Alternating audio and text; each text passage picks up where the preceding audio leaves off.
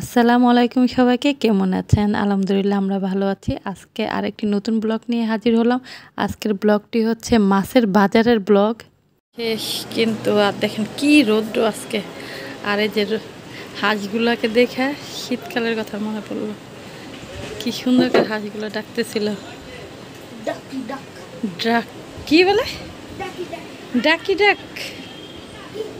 হ্যাঁ দুষ্ট ছেলে। এত ভালো লাগতেছে হাঁসগুলো দেখা। কত সুন্দর ওরা সাঁতার কাটতে পারে আর আমি পারি না।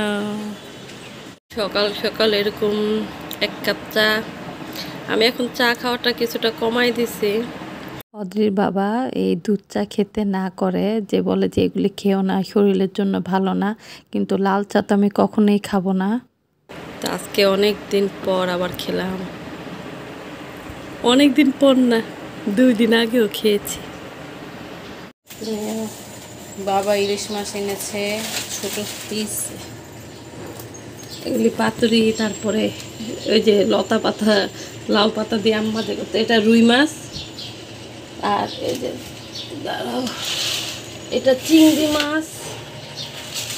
এটা হলো বোয়াল মাছ এই যে এটা বোয়াল মাছটা আসলে আনা হয়েছে আমার এক মানে রনি নানু ওদের নানুমা মানে আমার আম্মার বান্ধবী আমার খালার থেকেও বেশি। ওনার প্রিয় আর কি। উনি একদিন বলছিল উনি অনেক দিন হয়েছে বোয়াল মাছ খায় না। তাই ওনার জন্য বোয়াল মাছটা আনা হয়েছে। আর এটা কাসকি মাছ। আলু দেখাতে চলছে না এটা ইয়া করব না দেখো কীভাবে রান্না আজকে রান্না করব না তাদের আর এটা পাবদা মাছ। আর এই যখন ইলিশ মাছগুলি বড় বড়গুলা বের করে রাখবে আমি এখান ধরে রাখি। দুইটা। গনু না আগে বের করো। হ্যাঁ।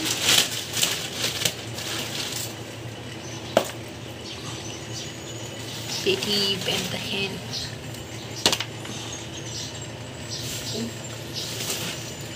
মা সোনালি রূপালি বলে কেন ইলিশ মাছগুলোকে? কোনটা সোনালি কোনটা রূপালি? সোনালি না।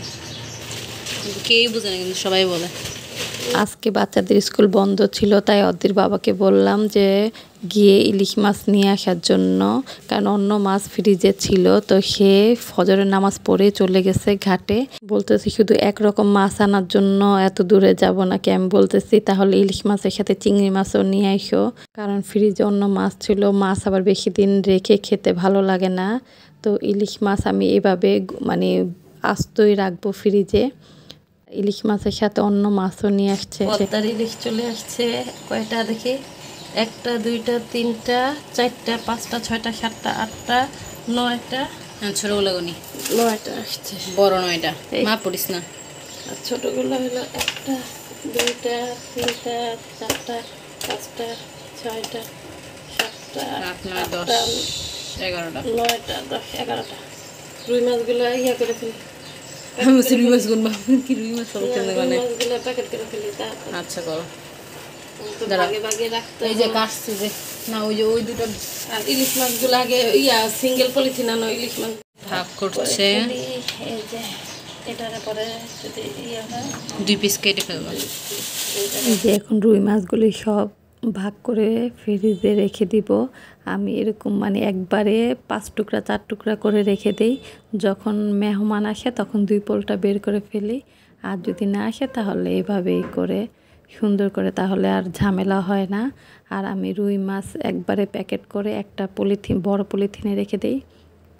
আসলে কি গুছিয়ে কাজ করলে তখন দেখা যায় কোনো হেল্পিং হ্যান্ড লাগে না। তো যখন মাছ আনে অথবা অন্য কোনো বাজার আনে, তো তখন একটু কষ্ট হয় আর কি। আর এখন বেশিরভাগ সময় দেখা যায় যে বাজারগুলো দেরি হয়, কারণ মাছগুলি কেটে আনতে হয়। আগেও রুই মাছ, বড় মাছগুলি কেটে আনতো।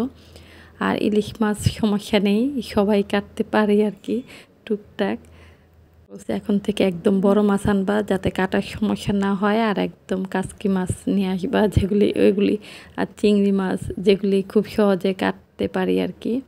আর এমনি সমস্যা নেই, আমার কাটার লোক আছে বললে এসে কেটে দিয়ে যাবে।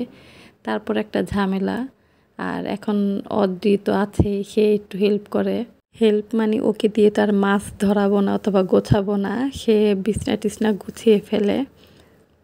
যে আমি একে একে সবগুলি মাছ গুছিয়ে আর আমার মাছের জন্য আলাদাভাবে পলিথিনকে মানে নিয়ে আসা হয়, ওগুলি আমি সুন্দর করে আবার মাছের জন্য ছোট মাছের জন্য ছোটোগুলা কাজে লাগাই বড় মাছের জন্য বড় এই যে এই পলিথিনে এই যে সব রুই মাছ রেখে দিচ্ছি। যাতে মানে একসাথে রাখলে দেখা যায় যে বোঝা যায় না যে কোন জায়গায় কোন মাছ দেখা যায় আবার সব নামিয়ে আবার করতে হয়। আয়ান আয়ান কোথার উপর আমি ছোট ছোট পিস বলতে বুঝিয়েছি পলিথিন। আলাদা আলাদা এই যে একটার মধ্যে এই যে দুইটা দুইটা করে হ্যাঁ দুইটা দুইটা। না পেঁচায় পেঁচায় এই যে। এভাবে করে রেখে রেখে এইগুলি ছোট ইলিশ মাছ। আর এই যে এক একটা পলিথিনে এক একটা ইলিশ মাছ তার উপর তো। দেখ নিচে।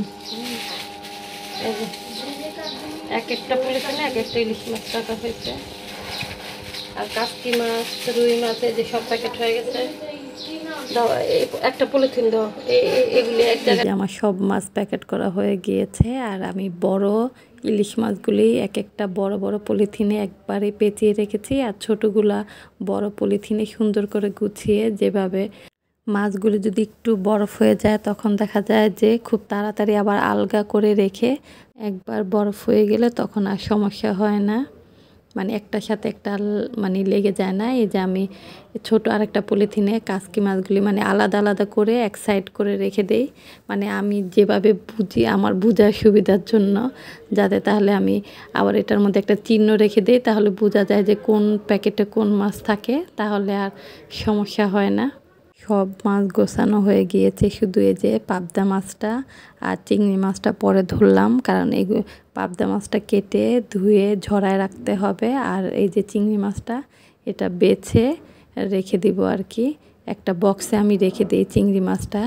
কারণ এই চিংড়ি মাছটা একটা বক্সে রাখলে সুবিধা হয় প্যাকেটের থেকে। এই যে আমি চিংড়ি মাছটা শুধু মাথাটা, লেজটা ফেলে দিচ্ছি। যখন আবার রান্না করার জন্য বের করব মানে মাথার থেকে ময়লাটা আর লেজটা পরিষ্কার করে রেখে দিচ্ছি। তাহলে আর রান্নার সময় আর অত ঝামেলা হবে না। যেদিন আমার মাছের বাজার আনা হয়, যদিও সকাল সকাল আনা হয়, মাছের বাজার করে অদ্রির বাবা তারপরে একবার ফ্রেশ হয়ে অফিসে চলে যায়। আমি কিন্তু সাথে সাথে মাছ ধরি না। একদম বাচ্চাদের নাস্তা দিয়ে যদি বাচ্চারা বাসায় থাকে, সক মানে সকালে আমি রান্না টান্না করে তারপর আমি মাছের বাজারটা ধরি। তো আজকেও কিন্তু আমার রান্না শেষ। তারপর সব ঘর টর গুছিয়ে তারপরে আমি লাস্টে সব মানে পলিথিন যেভাবে যেভাবে রাখব ওগুলি সবগু হাতের কাছে রেখে তারপর আমি মাছ ধরেছি যাতে কোনো ঝামেলা না হয়। মাছের কাজ করে একদম গোসল করে নামাজ পড়ে ফেলব। মানে দেখা যায় তাহলে আর কোনো সমস্যা হয় না। গেছে। একটু বেশি চাপে হাগুই বের হয়ে গেছে। পড়ার চাপে। আল্লাহ প্লিজ আমার আর রোস্ট করো না। পড়ার চাপে নিতে পারতেছিল না পড়াগুলো। খেল খেয়াল করেছেন আমার রান্নাঘরে অনেক পাখির আওয়াজ? তো আজকে আমার এই ব্লগটি এ পর্যন্ত থাকল। কেমন হয়েছে অবশ্যই জানাবেন। লাইক করবেন সাবস্ক্রাইব করবেন। আসসালামু আলাইকুম।